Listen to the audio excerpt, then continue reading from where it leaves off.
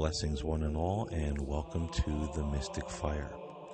I'm Paul James Caden, and today I would like to talk to you briefly about letting the light of the resurrection shine in your life. This is certainly a very peculiar Easter season that we're having. Most of us are in quarantine. We're not gathering with our family members and our friends. We're not going to church services if we celebrate, if we happen to be religious or spiritual. And even those of us who look at this as more of a secular holiday, a lot of people aren't going to be seeing their loved ones and having the usual Easter dinner and the gathering around the table. Some of us will be Skyping in our loved ones for some kind of celebration or FaceTime during the holiday. But it has a very peculiar feeling to it this year. We've, we've never we've never faced anything like this in our lives. This this is a brand new situation that we're looking at and it's it's very bizarre and there are some people that are in complete denial there are some people that just want to push through and say, well, I'm going to have my church services, I'm going to have my Easter dinner and gather with my family and my loved ones anyway. I, I would say this uh, at this moment um, try not to do that. You know, if someone is sick in your family or your congregation, you're only going to endanger the health, the well being, and possibly the lives of people that you care about. And that's not what we should be doing. On Resurrection Sunday, we should be selfless instead of selfish. We need to think ahead a little bit to ponder the rest of the year 4th of July, Labor Day, Christmas, Thanksgiving, the holidays that lay ahead next Easter. We want our loved ones and our fellow parishioners to celebrate with us then. We don't want to lose anybody because of foolishness or boredom right now. So please think about that as you're getting ready to celebrate however you're celebrating this year the Easter season. If you truly want to have an Easter service or remember Christ, maybe set something up in your home. Light some candles. Get some bread and grape juice and take communion together. Skype in your family members and your friends.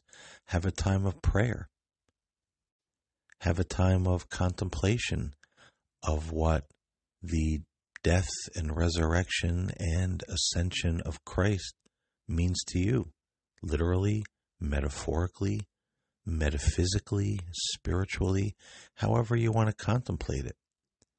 This is something that my wife and I have been doing all of this Holy Week because we celebrate.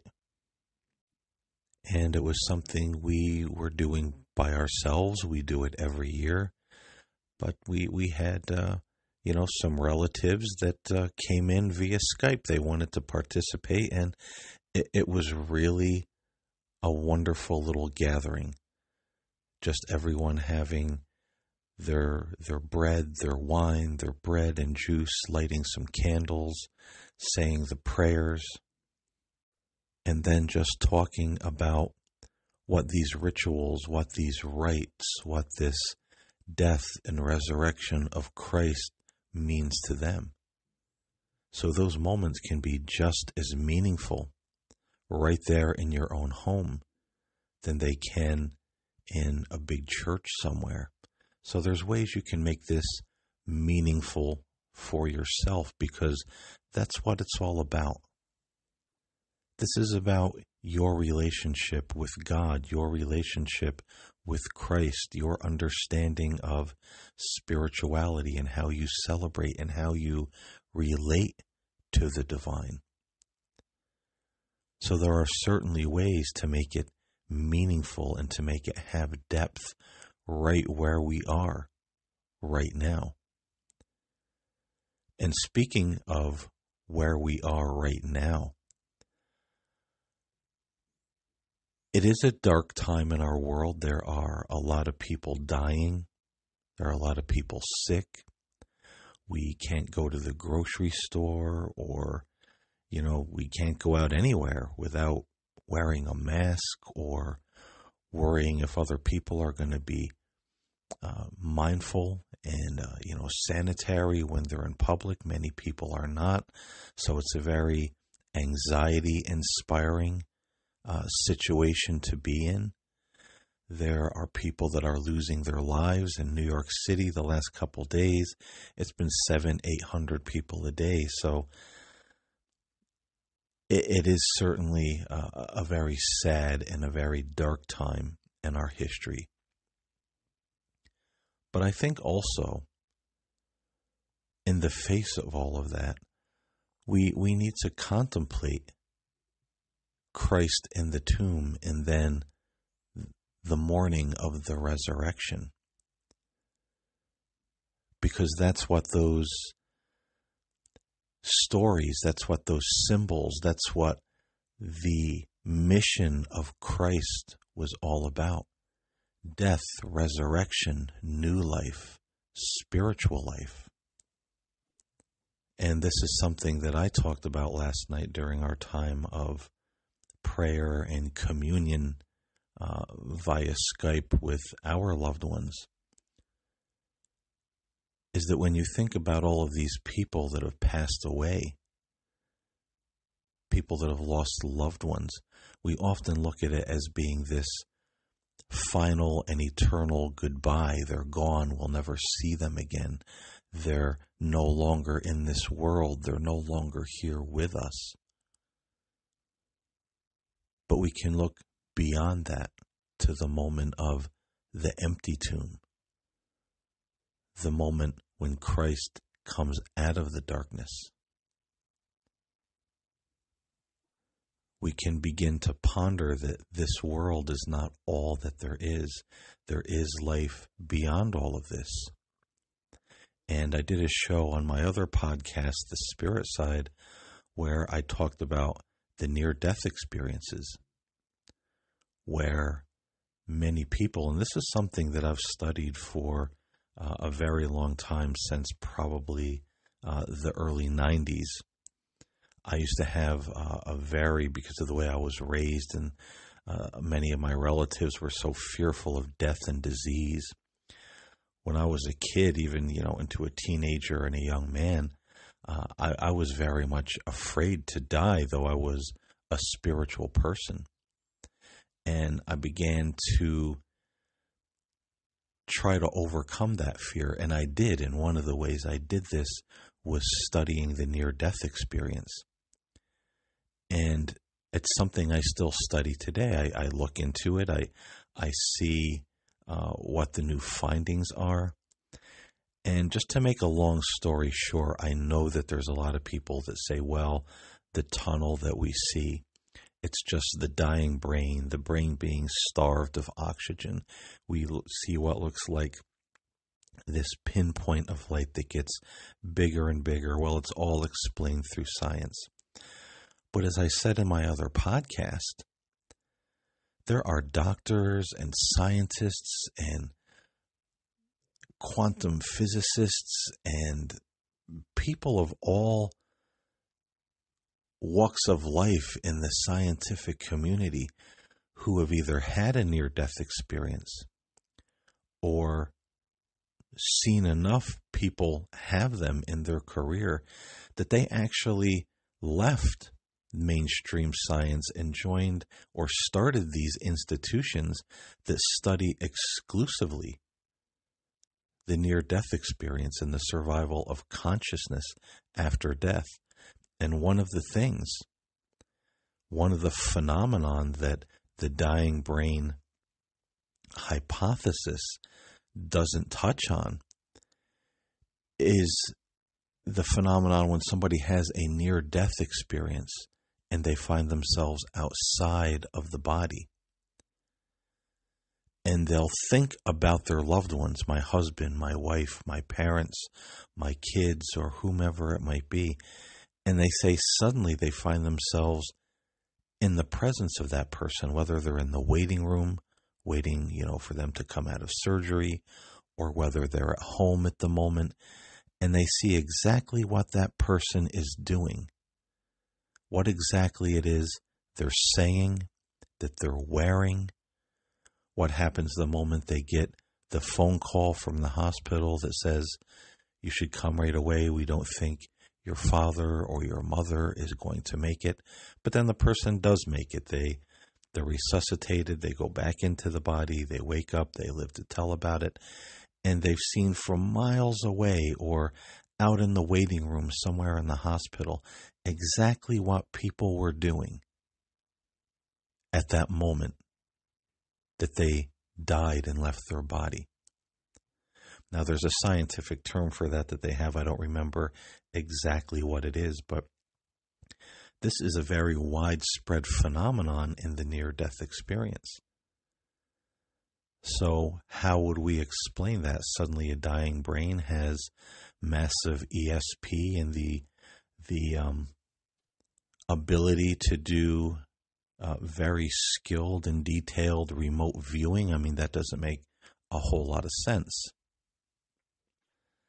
So we do have, and, and there are other things attached to the near death experience that are just unexplainable when it comes to the dying brain theory.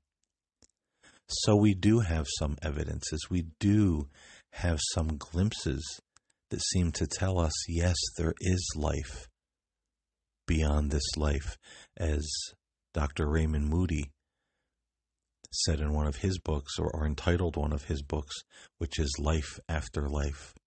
And Raymond Moody was a doctor who uh, became fascinated with near death experiences. He never really believed in any of this sort of thing, but he saw so many of them. He he wrote a whole host of books about this phenomenon and, and studied it up until I, I think he's passed away now, but there certainly does seem to be a lot of clues and hints and glimpses that there is life beyond life. And that's something when we think about the resurrection, the empty tomb. We can think about our loved ones who may have passed away, and in a sense, they're in the empty tomb.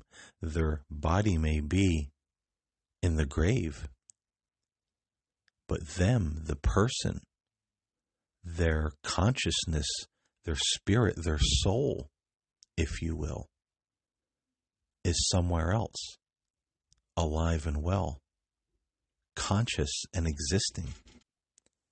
And that's amazing to me to think about that when you hear about the story of the resurrection. And for most of us, it's been just that a story that we believed in or had faith in. But now we have evidences, scientific evidences, and glimpses that there is a, a resurrection, a rising of the consciousness to a new dimension of life after we leave this world. And so when I say, let the light of the resurrection shine in your life today, I would like to invite each and every one of you, each and every one of us, to ponder these things during this Easter season. What does it mean if there is life beyond life? What does it mean if the things Christ told us about a world and a kingdom beyond this world that he was from? And it truly exists. What does that mean for our life, how we live our lives, how we now begin to view life around us? How does it change our perception of what's going on right now in our world. Because we seem to put ourselves in such a tiny box in this world. We get up, we go to work, or we go to school, we come home, we eat dinner, we watch TV, we play on our, you know, our phones, we're always texting, we're playing games online, and then we go to bed, and then we get up and we do it all over again. And we say, This is life. And now, everybody, the thing that I've really noticed now that everyone's on lockdown, everybody wants to be outside of that box. They want to be outside. They want to see their loved ones. They want to see their friends. They want to have human interaction. And before all this happened, everyone was complaining that there was no human interaction anymore. But now that that's taken away, at least temporarily, everybody wants it. Everybody understands and sees and knows what they've been missing. So maybe during this Easter Sunday, let's look a little deeper, a little further outside the box, and maybe realize what we have been missing by not having that spiritual element in our lives, not having faith, not having hope, not having the idea that there's more than this, there's more beyond this, there's life beyond this. What we do matters now. And when we contemplate life beyond life, what kind of hope, what kind of strength does that give us? To say, come what may in this world, I'm going to be okay. It's going to be okay. We're going to be okay.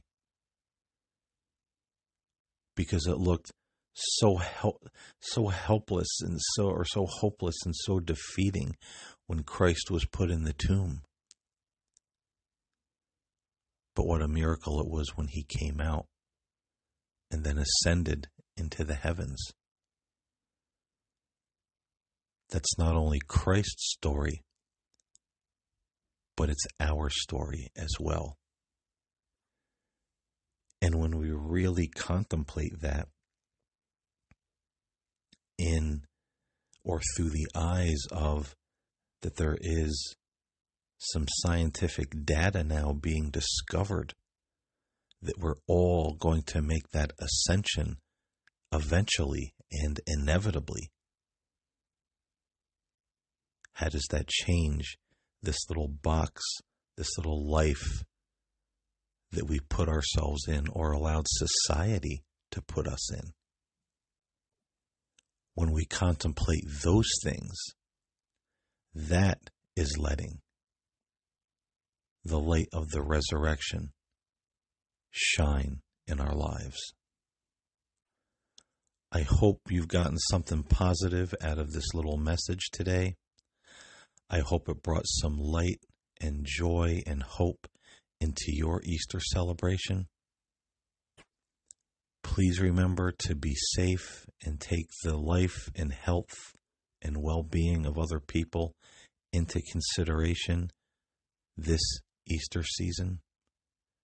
And I'll see you next time here on the Mystic Fire. God bless everyone. Happy Easter.